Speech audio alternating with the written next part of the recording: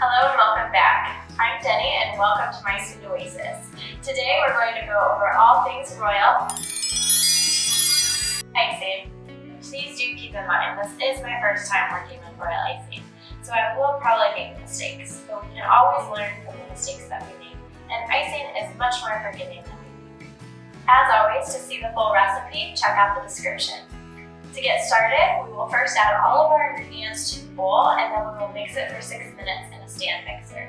Before adding your powdered sugar to the bowl, I would recommend sifting it. That'll just ensure that your royal icing is as smooth as possible, but it is not necessary.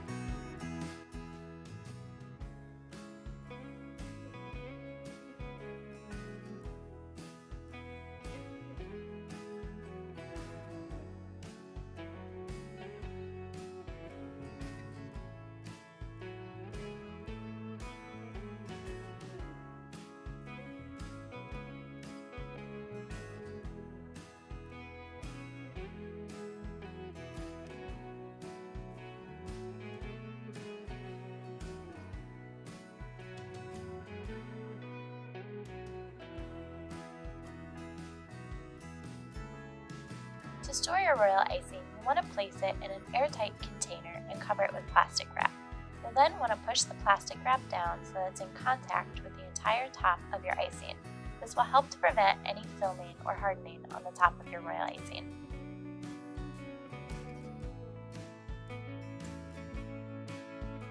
Once we have our icing mixed, we'll then need to add our food coloring. First, we need to decide how many different colors we would like and separate it out into that many bowls cannot use any food coloring that contains any grease or oil. Some of the safe bets that you can use are Americolor or Wilton. Personally, I prefer to use Americolor in my royal icing because it has a nice little squeezer. And since you can't use any grease or oil in your royal icing, if you accidentally have used a toothpick or a spoon or anything that has had any grease or oil on it, um, or any form of residue, and then you mix, put it into the food coloring, then ruin your. Both of these brands are gel food colorings. Gel food coloring does tend to work the best when you're working with royal icing because it doesn't tend to mess with the consistency quite as much.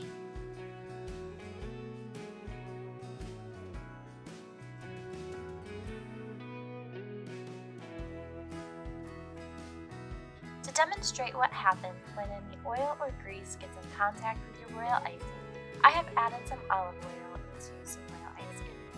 As you can see, the icing has gotten lumpy and it's not wanting to emulsify as well as normal. And after it's hardened, it has discolored around the edges and it has not dried as hard as usual.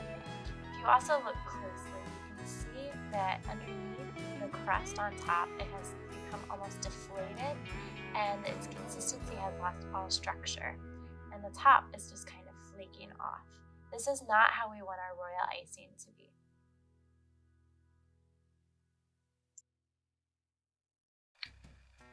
Once we've mixed all of our colors into our royal icing, we're then ready to begin mixing our royal icing into the different consistencies that we'll need. We'll use these consistencies in order to achieve different textures and techniques with all of our designs. There are five different consistencies that we'll be mixing today for our royal icing. These are the most common consistencies. Our first three consistencies will be defined by their peaks. If you're unfamiliar with meringues and you don't know what a peak is, peaks are the little point that forms when you press down on a meringue with a spoon or your finger and you pull up quickly. This point will then be the identifier that we use in order to know what consistency the meringue is at. The first consistency that we will be using will be the consistency that our meringue should already be at once we get it colored. This consistency will have a stiff peak. We will use this consistency in order to achieve more detailed aspects of our designs, such as if we want to make rosettes, if we want to have a more 3D and stable effect to our designs, this would be our go-to. Our second consistency of royal icing is represented by our orange color. This royal icing consistency has a medium peak and it is still a more stable consistency, but it is slightly softer and we can use it for some of our less intricate designs that we still would like to have a bit of a pop-up effect, such as leaves or grass. Our yellow royal icing represents our third consistency. This consistency should still maintain its shape when you place it on the plate and not spread, and it should have soft peaks. The texture of it should be very similar to toothpaste, and we will use this in order to outline our cookies before flooding them.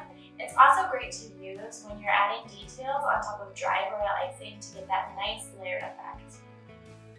Our final two consistencies are the textures most commonly thought of when thinking about royal icing. Both of these consistencies will be identified by the amount of time that it takes for them to redisperse into a bowl and attain a nice smooth finish once they're drizzled off of a spoon. The green represents our 20 second icing.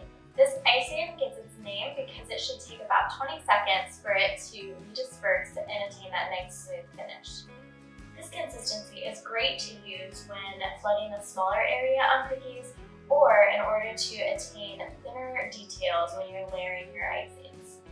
Our fifth and final consistency is represented by our purple icing here. Just as with the green, the purple gets its name from the amount of time that it takes to disperse. This is our 10 to 12 second icing or flood icing. As already described, it should take about 10 to 12 seconds to disperse and attain a smooth finish. And as of the name, we will use this to flood our cookies you can use it to layer on top of dried royal icing as well. This icing is a little bit more difficult to get to maintain its shape, so you won't want to use it for anything that's too detailed.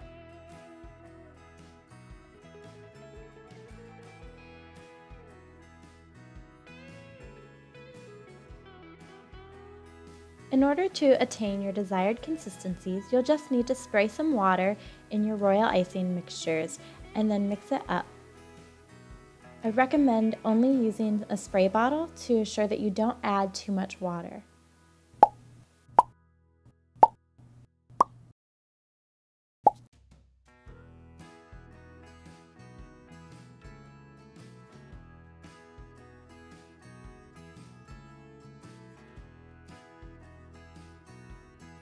You're ready to begin decorating your cookies, then you're going to need to put your royal icing into piping bags If you don't have any piping bags available, then you are able to use plastic bags. Um, they don't tend to work quite as well. And you don't have quite as much control over that icing. However, it is still an option. If you are using a piping bag, then you have three different options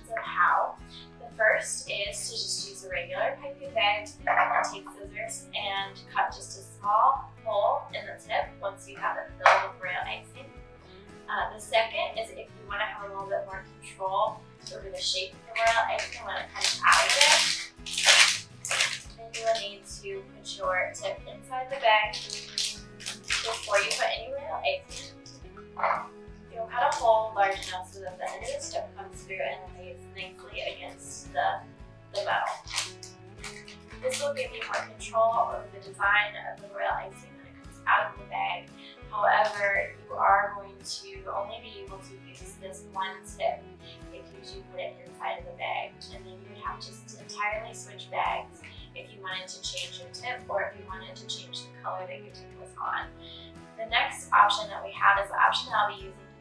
This will just give me more flexibility and will allow me to more easily shift colors and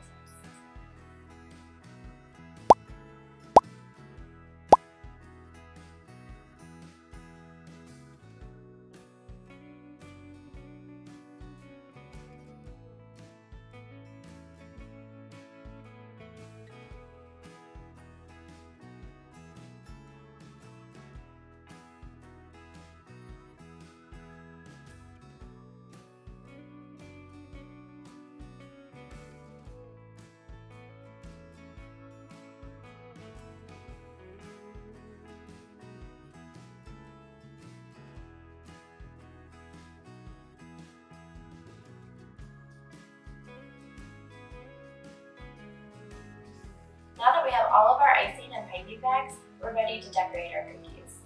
So now I'll just take a moment to go over a few basic techniques that you can use in order to create several different designs. In order to ensure that there is no leftover butter or grease residue on the top of your cookie after baking, I would recommend allowing your cookies to lay out uncovered overnight, just to ensure you have a nice, clean finish to put your royal icing on. Whenever you are wanting to put a base layer of frosting on, first want to outline it with your outlining consistency and then fill it with flood icing. Don't worry if you have any gaps or if it doesn't quite fill all the way because you can always take a toothpick and just push the icing around a little bit before it dries. You'll then want to allow your royal icing to harden completely before adding anything on top of it. To add the stem and leaves, I have used some medium peak frosting so that I can get some details, but it still leaves the frosting a little bit softer and lies flatter on the cookie. To add details on top of dried royal icing, I will be using outlining consistency and I'll just be placing it right on top. As you can see, I messed up slightly, so I just corrected it with a toothpick. For the next technique, I want a little bit more of a 3D effect, so I added a base layer of outline consistency and then flooded over top of it.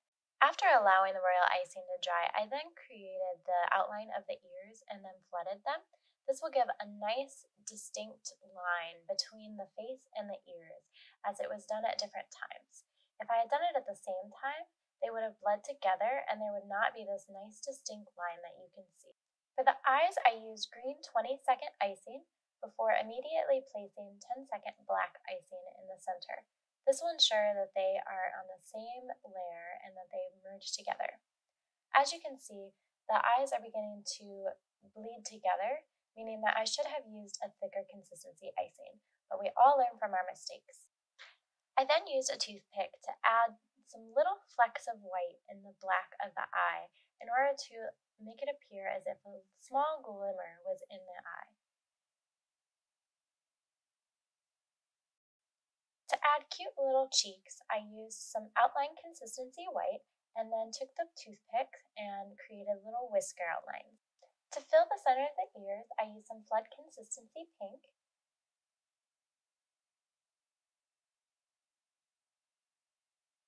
I then also used this flood consistency to create a little nose above the whiskers. For a fun effect, I took some pink luster dust or pearl dust and put it on a soft bristled brush and just kind of put some little pink rosy cheeks on my bunny. I then used some purple stiff consistency icing to create a rosette. I did this by using a star piping tip, squeezing a little bit in the center, and then letting up as I created a tight circle. I then used some medium peak consistency royal icing to create the leaves with a leaf tip. For the mouth, I used some 20 second black royal icing and then I again use this for the whiskers. If I had markers available, then I could have used those and they probably would have looked a little nicer, but since I use buttercream, I don't really have any on hand. You can then use the outline and flood to fill any cookies that you like and then create fun designs. I used some green and purple stripes to create a fun effect on my eggs. As you can see, I then took a toothpick and drew through them to give just a fun little decorative effect. I messed up a little bit, so I just corrected it. You can play with this as much as you like. The most important things to remember is that if you add any wet royal icing on top of wet royal icing, it will merge and bleed together.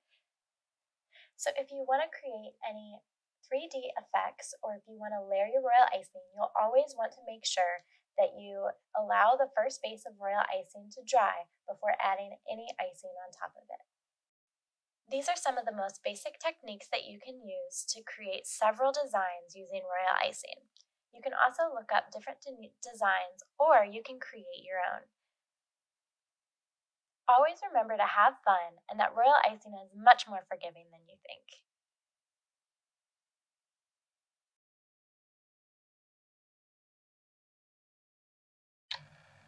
Thank you for joining me on my first ever royal icing journey.